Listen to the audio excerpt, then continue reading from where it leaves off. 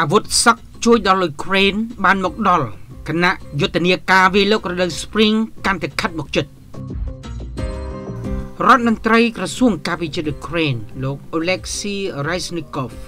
បានថ្លែងបង្ហាញក្តីរីករាយជាខ្លាំងជាមួយនឹងការប្រកាសថាអ៊ុយក្រែនទើបបានទទួលជាលើកដំបូងនៅប្រព័ន្ធមីស៊ីលការពារដែនអាកាស Patriot ដែលជាប្រព័ន្ធអាវុធទំនើបបំផុតមួយរបស់សហរដ្ឋអាមេរិក ការទទួលប្រព័ន្ធអាវុធសម្រាប់ការពារដែនអាកាសអ៊ុយក្រែននេះបានធ្វើឡើងនៅមុនពេលការរៀបចំយុទ្ធនាការវាយលុករដូវ Spring លោក Oleksiy Reznikov បានសរសេរក្នុងបណ្ដាញសង្គមថាក្នុងដំណើរទស្សនកិច្ចមួយរបស់លោកកាលពីខែសីហាឆ្នាំ2021ទៅកាន់សហរដ្ឋអាមេរិកលោកបានប្រាប់ទៅភាគីអាមេរិកពីនោះ ក្នុងការចង់បានប្រព័ន្ធការពារដែនអាកាស Patriot ដោយសារតែលោកនិយាយថាសេរីភាពនិងឯករាជ្យភាពរបស់អ៊ុយក្រែនបានស្ថិតក្រោមការគំរាមកំហែងលោកសរសេរទៀតថាប៉ុន្តែពេលនោះ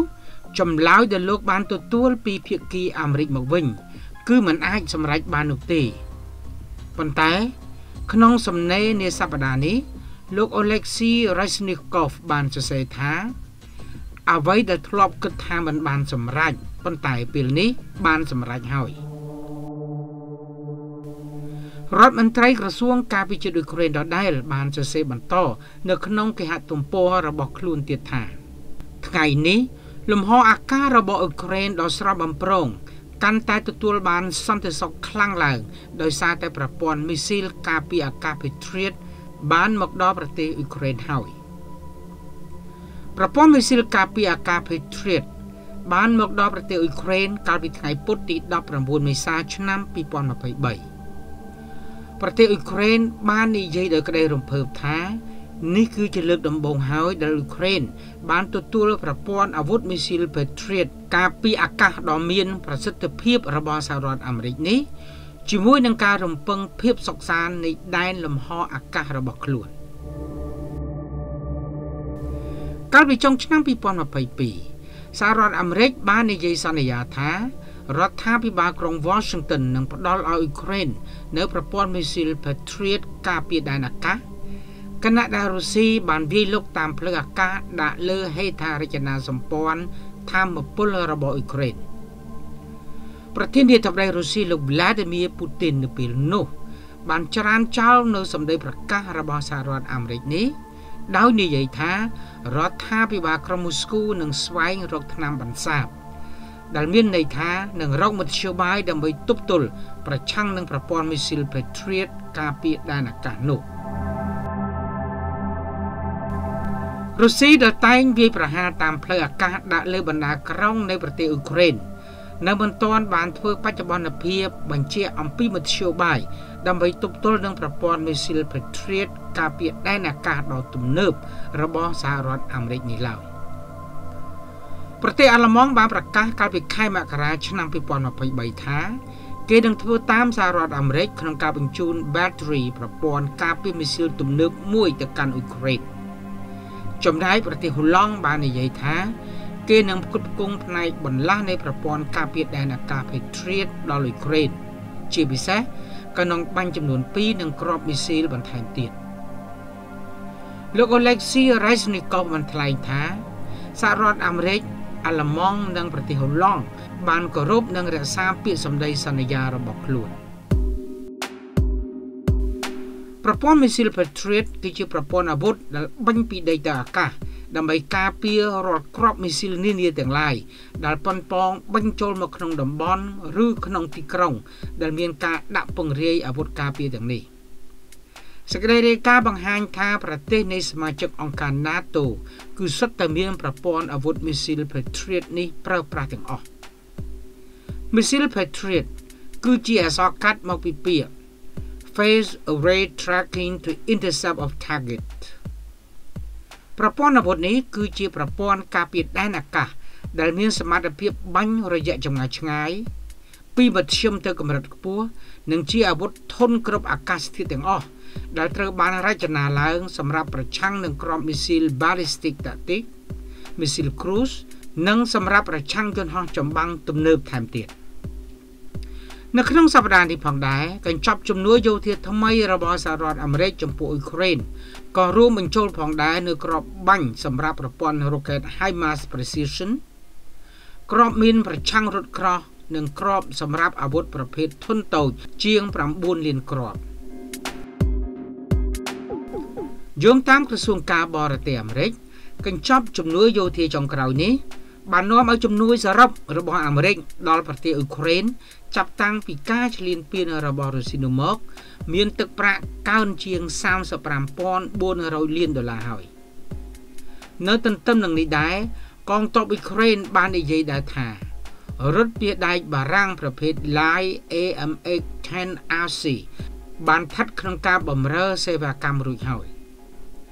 នៅជាមួយគ្នានេះទៀតសេចក្តីរាយការណ៍បានបន្ថែមថាប្រទេសដាណាម៉ាកនិងប្រទេសហូឡង់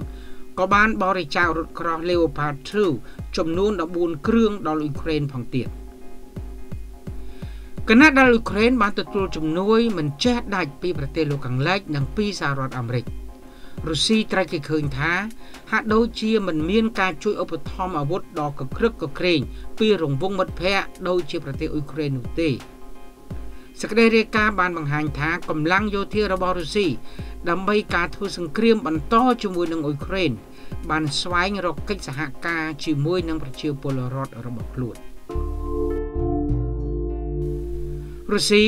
បានធ្វើយុទ្ធនាការវីដេអូដើម្បីស្វែងរកទាហានមានជំនាញនិងបទពិសោធន៍ដើម្បីការស្ម័គ្រចិត្តប្រយុទ្ធប្រឆាំងនឹងទាហានអ៊ុយក្រែន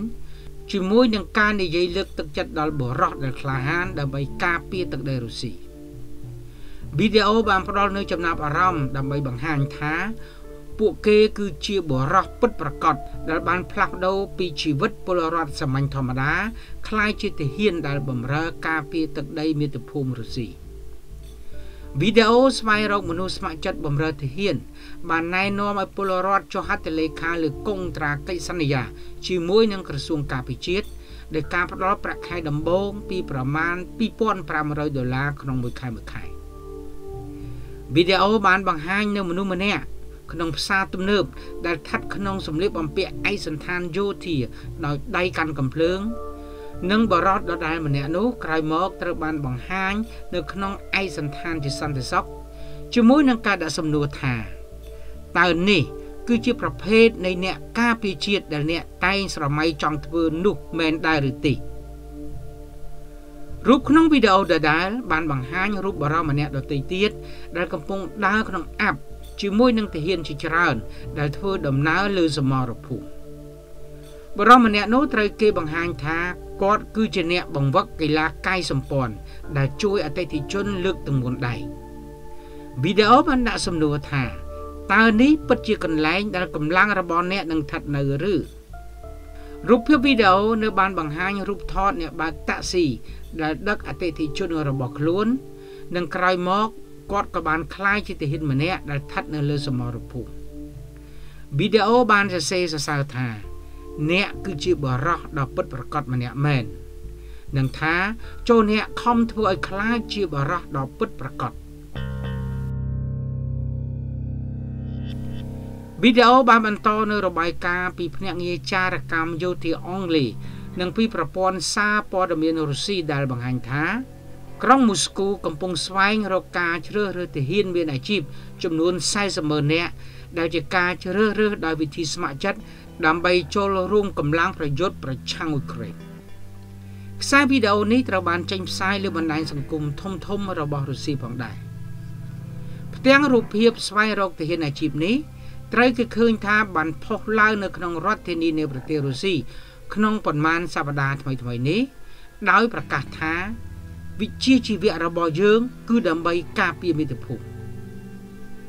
ការចេញផ្សាយវីដេអូនេះបានទន្ទឹមនឹងការធ្វើសម្ពយុទ្ធរបស់ទាហានអ៊ុយក្រែនដែលកំពុងត្រៀមរៀបចំការវាយប្រហារដ៏ធំ ក្នុងរដូវ Spring ដាក់ទៅលើទាហានរុស្ស៊ីក្នុងសប្តាហ៍នេះផងដែរ មុនការរៀបចំយុទ្ធនាការវាយប្រហាររដូវ Spring មេដឹកនាំអង្គការ NATO លោក Jens Stoltenberg បានធ្វើទស្សនកិច្ចជាលើកដំបូងរបស់ខ្លួនក្នុងប្រទេសអ៊ុយក្រែនមេដឹកនាំអ៊ុយក្រែនលោក Zelensky បានថ្លែងថា អង្គការ NATO ចាំបាច់ត្រូវអញ្ជើញអ៊ុយក្រែនដើម្បីក្លាយជាសមាជិករបស់អង្គការសន្ធិសញ្ញាអាត្លង់តិកខាងជើងនេះ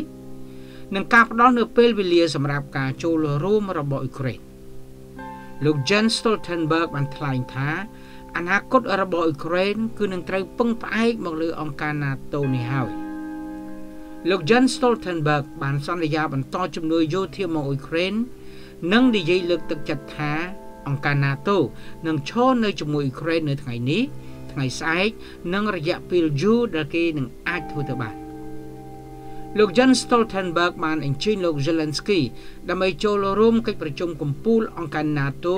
ក្នុងក្រុង Vilnius នៃប្រទេស Lithuania ក្នុងខែកក្កដាឆ្នាំ2023សង្គ្រាមអ៊ុយក្រែនបានអូសបន្លាយរយៈពេលជាង14ខែមកហើយដោយសង្គ្រាមបានធ្វើឲ្យមនុស្សស្លាប់និងរបួសទាំងសងខាងបើទោះបីជាភាគីទាំងសងខាងបានលាក់តួលេខពិតប្រាកដនៃការស្លាប់លើសមរភូមិនោះក្តី ប៉ុន្តែការលេចធ្លាយនៃឯកសារសម្ងាត់របស់អាមេរិកថ្មីថ្មីនេះបានបង្ហាញថារុស្ស៊ីមានមនុស្សស្លាប់ប្រមាណ43000នាក់និងថាអ៊ុយក្រែនមានអ្នកស្លាប់ចំនួន17500នាក់